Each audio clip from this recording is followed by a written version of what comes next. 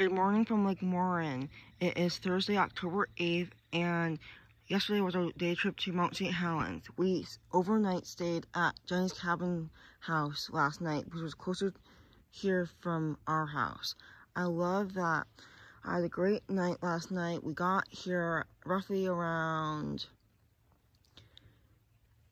8 p.m. and it was really dark. We drove in the dark because we spent all day at Mount St. Helens and it was a fun, fun day trip and I'm glad we spent all day at the mountain. We picked up Burgerville for dinner and we ate in the car and then we were just relaxing this morning. I got up at 9 a.m.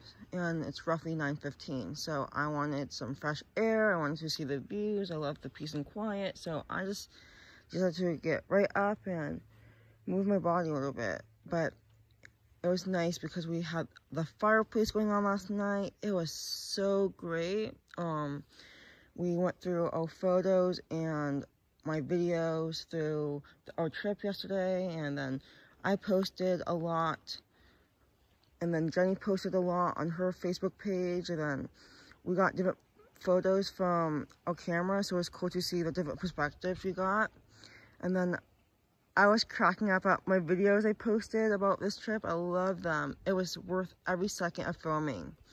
I am so grateful that I am here at Lake Merwin again. It's such a beautiful place.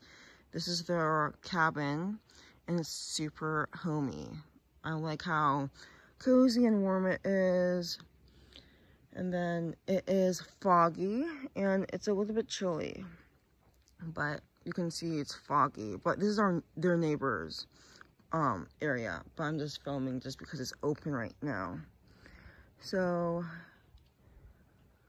I love the peace and quiet. It is so peaceful. It wakes me up too a little bit with like the coolness. Mm, I had a good night's sleep last night. I slept in the loft again, like last time, so that was nice. And I had a good night's sleep. And I went to bed at midnight.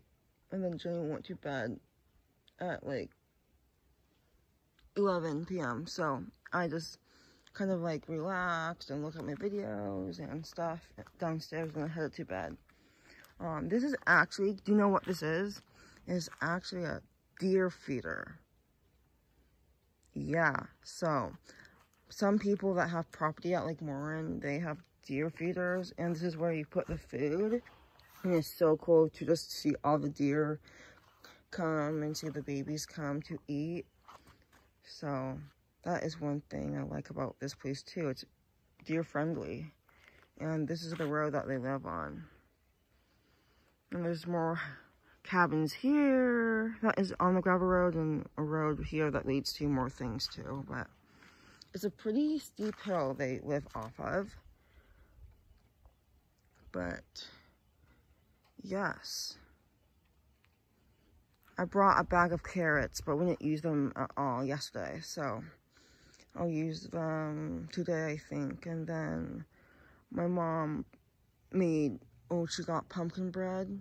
So I have pumpkin bread this morning to eat and some other snacks I brought. So feels so nice here. And then we're to leave Lake at 1 p.m.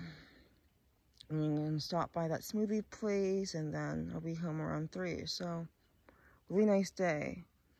So, Jenny worked with me Wednesday, October 7th from 8.30 till 11 p.m. So, it was a long day for her. And then today is 9 a.m. So, we got some good night's sleep. And we walked like five or six miles yesterday too um, with all the climbing ele elevation we did. So it was a great day. That trip was such a good trip, such a good bucket list trip.